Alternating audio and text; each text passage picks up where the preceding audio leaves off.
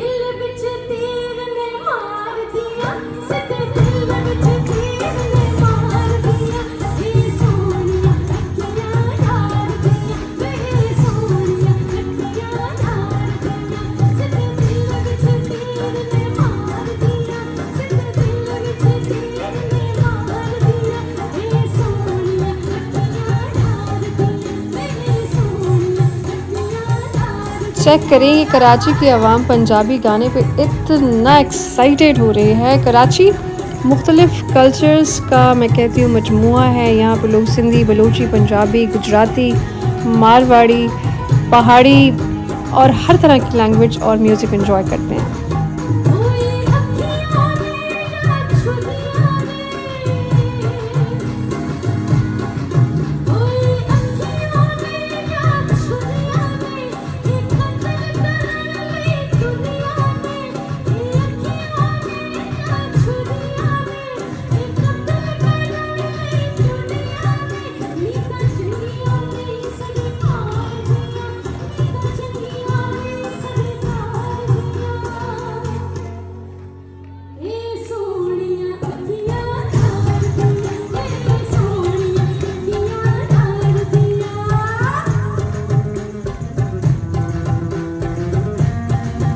Kashmiri singer अब आपको कश्मीर के हवाले से सॉन्ग सुनाएँगी और कश्मीर को लेकर पाकिस्तानियों के जज्बात और मोहब्बत कभी ख़त्म नहीं हो सकती। तो आइए इसे इन्जॉय करते हैं।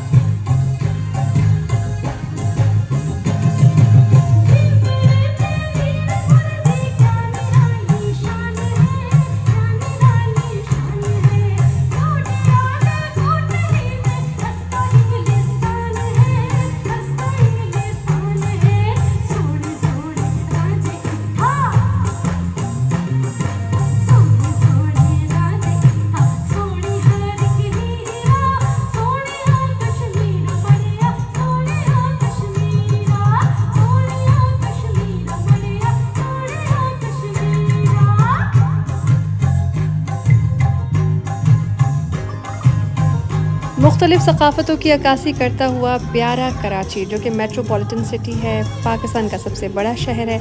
इसकी सबसे अच्छी बात मुझे ये लगती है कि यहाँ रहने वाले अपने बीवी बच्चों अपनी छोटी छोटी फैमिलीज़ के साथ बाहर आ जाते हैं और बहुत इन्जॉय करते हैं।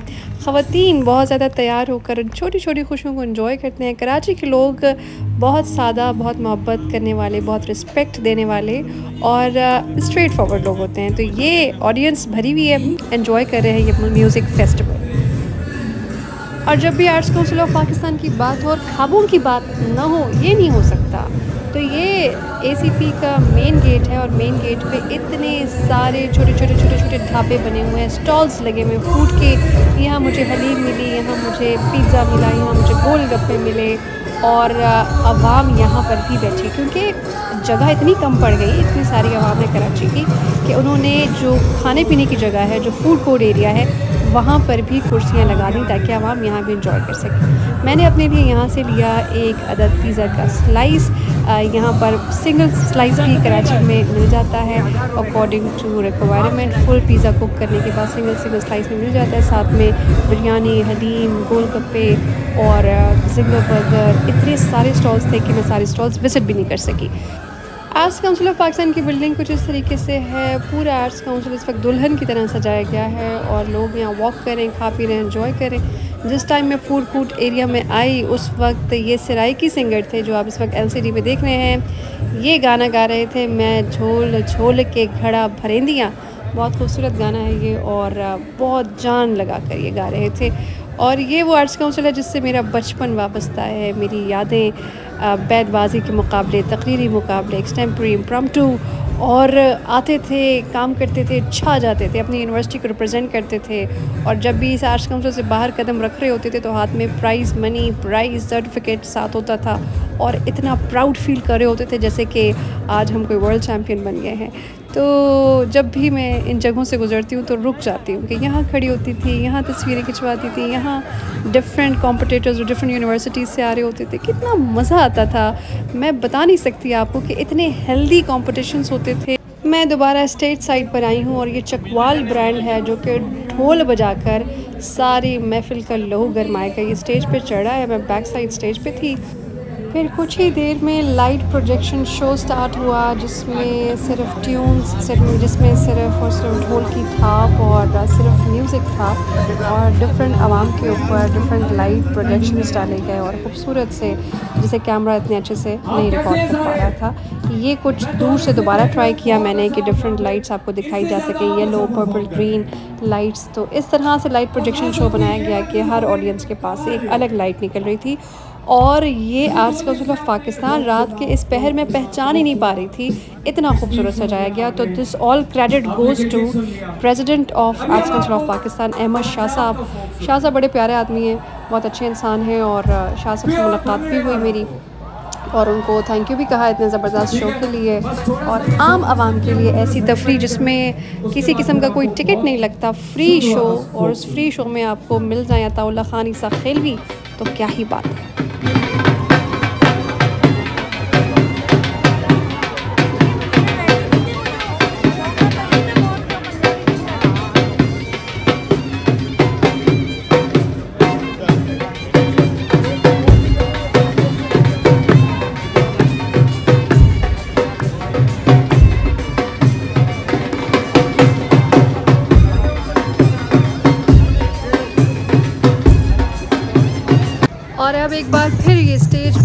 रहमत सिंगर को वेलकम करने के लिए तैयार है। बानो रहमत ने पहले भी बहुत प्यारे प्यारे सॉन्ग गाए कश्मीरी और इंटरटेन किया इस ऑडियंस को और बहुत अच्छा रिस्पांस दिया इस ऑडियंस ने बानो रहमत को। एक बार फिर ये बानो आ रही हैं कुछ गाने के लिए और अनाउंसमेंट्स जारी हैं बानो रहमत को स्टेज पर बुलाया जा रहा है। और भी बहुत सारे सिंगर्स थे।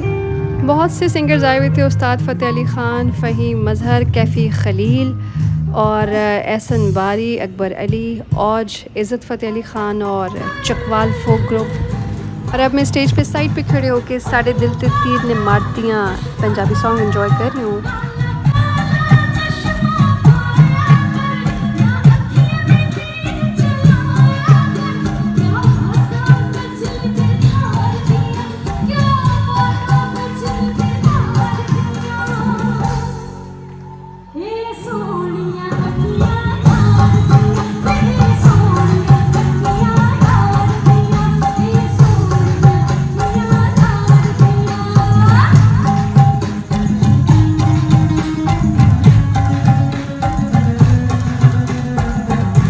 क्राउड बहुत ज़्यादा तो मैंने फ़ैसला किया कुछ हल्का फुल्का खाते हैं और टाइमली निकल जाते हैं बाहर, क्योंकि फिर जब रश हो जाएगा तो आवाम जब निकलेगी सारी एक साथ तो बहुत मुश्किल हो जाएगी।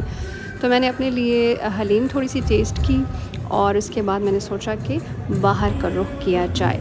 तो गुड बाय टू एसीपी और thank you arts council of Pakistan मेरी लाइफ में इतना ज़्यादा कंट्रीब्यूट करने के लिए। ये आर्ट्स काउंसिल ऑफ़ पाकिस्तान के बाहर के मनाजिर हैं। ये वो लोग हैं जो कि कॉन्सर्ट का हिस्सा नहीं बन पाए। देर से आए, दरवाजे बंद हो गए आवाम रोला डाल रही है, लेकिन इनको कोई अंदर जाने नहीं दे रहा। ज़िंदगी में इतनी कामयाबियाँ हासिल करने के बाद अगर मैं अहमद शाह साहब को शुक्रिया अदा ना करूँ तो बहुत गलत होगा। और इकबाल लतीफ़ साहब, ये वो लोग हैं जिन्होंने आर्ट्स काउंसिल ऑफ़ पाकिस्तान को अपनी ज़िंदगी के इंपॉर्टेंट एरा में संभाल के रखा और हमें अपॉर्चुनिटीज़ दी। तो मैं और मेरे जैसे बहुत सारे वो मुकर्रीन जिन्होंने आर्ट्स काउंसिल ऑफ़ पाकिस्तान से बहुत कुछ सीखा, जीता, अपना नाम कमाया और खसूसी तौर पर एंकरिंग की फ़ील्ड में आए और एंकरिंग की फ़ील्ड में भी अपना लोहा मनवाया। तो मेरी ज़िंदगी के आगाज़ के जो उस्ताद हैं, और मैं अहमद शाह साहब और इकबाल लतीफ़ साहब हैं, आप दोनों का बेहद शुक्रिया।